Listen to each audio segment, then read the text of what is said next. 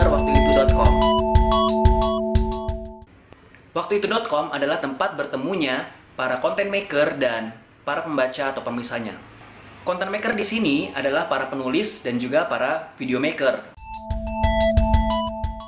Banyak sekali tulisan-tulisan yang kita temui di sosial media yang tidak membangun, tulisan-tulisan yang tidak menginspiratif, menginspirasi, jelek-jelekin orang, curhat-curhat galau,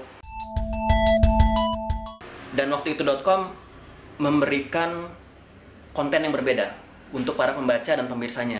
Kami memberikan konten-konten yang positif, yang bisa membangun, yang bisa menginspirasi untuk kehidupan yang lebih baik, pengembangan diri para pembaca dan pemirsa waktu itu.com.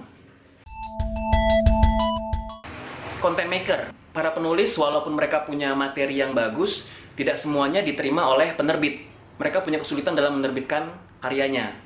Di waktu itu.com, ketika kita menulis 30 karya, akan langsung dijadikan buku dan diterbitkan. Begitu juga dengan video. Kami mengundang para content maker video untuk bergabung bersama kami menghasilkan video-video yang inspiratif.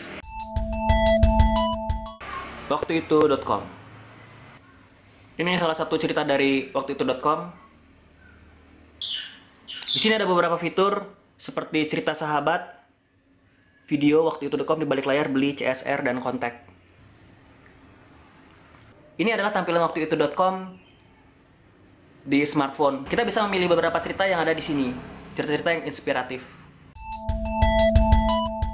Cerita-cerita inspiratif yang ada di waktu itu.com harus cerita yang berdasarkan pengalaman pribadi si content maker. Harus simple, sederhana, mudah diingat, dan yang paling penting, mudah untuk diceritakan kembali. Dan pastinya harus menginspirasi. Cara kerja waktu itu.com akan saya jelaskan secara singkat di sketsa ini. Waktu.com, content maker, user. Content maker dalam hal ini adalah para pembuat cerita dan juga para pembuat video. User, pembaca dan pemirsa. Berikutnya kita akan melihat output dari waktu.com. Ada output digital, ada juga fisik. Digital buku dan video, fisik juga buku dan video. Kemudian kita punya seminar, komunitas, dan merchandise. Kami mengharap dengan adanya waktu itu.com dapat menginspirasi para content maker dan juga para pembaca yang juga nanti akan menjadi content maker karena mereka sudah merasakan dampaknya. Terinspirasi berbuat sesuatu yang lebih baik untuk kehidupan yang lebih baik.